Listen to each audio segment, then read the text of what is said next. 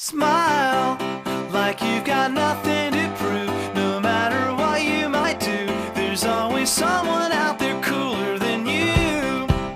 I know that's hard to believe, but there are people you meet. They're into something that is too big to be expressed.